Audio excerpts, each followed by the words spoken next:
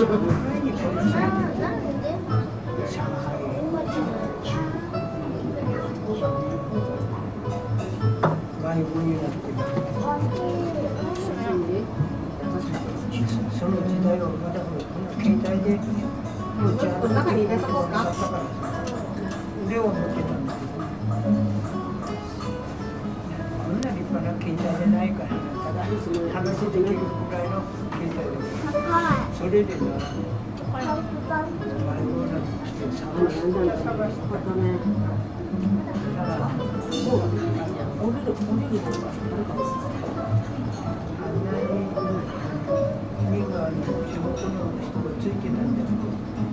の人はして。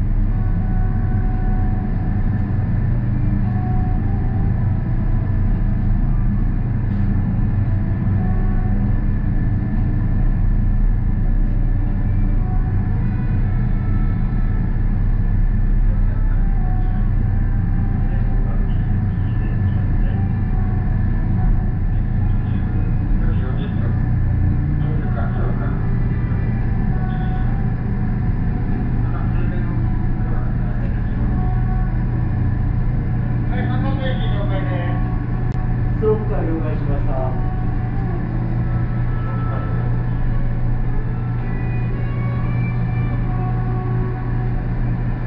はい、ご乗車ありがとうございました。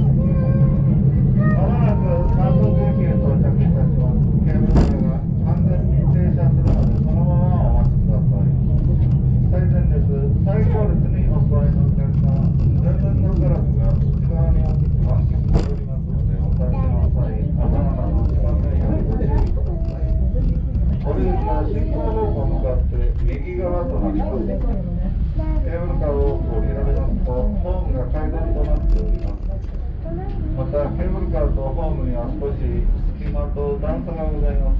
車内の階段も段差が高くなっておりますので、足元には十分お気をつけください。お降りの際、お忘れ物がないか、今一度お確かめください。本日は、皿倉山ケーブルカーご乗車ありがとうございました。停車いたします。いいのちゃん。いいのちゃん、ママよ。ドアが開きます。ご注意ください。前方ドア開きます。後方ドア開きます。